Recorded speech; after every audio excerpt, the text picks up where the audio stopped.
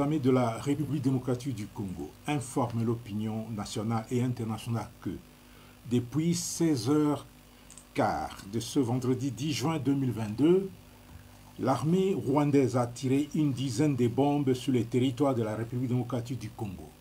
Ces bombes, tirées par un canon à longue portée à plus de 22 km à partir du territoire rwandais, ont explosé à Biruma et à Kabaya, localité située dans le groupement de Kisigari, chefferie de Boucha, en territoire de Ruchuru, respectivement à 5 km et demi et à 1 km et demi à l'est de Rumangabo.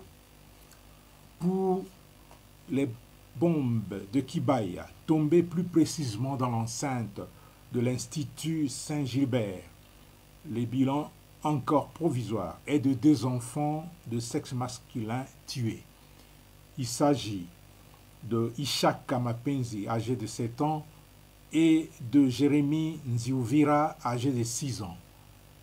Un autre garçon, dont l'identité n'est pas encore précisée, a été blessé et est admis dans un centre hospitalier de la place. En plus du bilan humain, l'armée rwandaise a bombardé toute une école, ce qui constitue à la fois un crime de guerre et un crime contre l'humanité.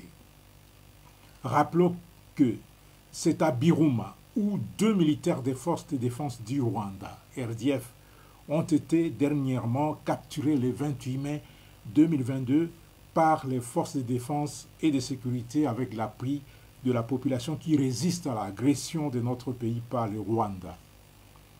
Pour non seulement justifier ces bombardements destinés à punir la population qui avait aidé à capturer les militaires des forces spéciales rwandaises, mais aussi fluer et tromper la communauté internationale sur ses intentions belliqueuses, le Rwanda a publié le communiqué selon lequel les FARDC auraient tiré des bombes sur le territoire rwandais. Même stratagème est utilisé pour justifier les dernières attaques de Rumangabo et de Kibumba. Habitué à sacrifier ses propres populations, le Rwanda, pour se victimiser et trouver les mobiles pour agresser la RDC, n'a jamais hésité de bombarder son propre territoire pour ensuite tirer des bombes sur le sol congolais.